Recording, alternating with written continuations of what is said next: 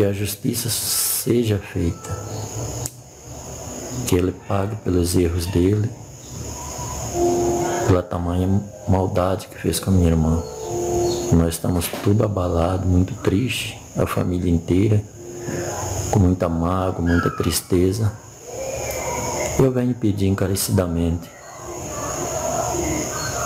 que a justiça seja feita e que ele pague pelos erros dele. Esses 30 anos ainda é pouco, pelo tamanho crueldade que ele fez. Que ele fique por muitos e muitos anos lá esquecido